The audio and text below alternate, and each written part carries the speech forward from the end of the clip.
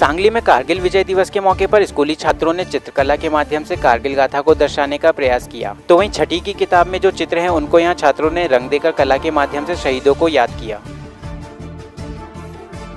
1999 में जो कारगिल का युद्ध हुआ, इस युद्ध इस युद्ध में 26 जुलाई को भारतीय सैनिकों ने विजय प्राप्त किया।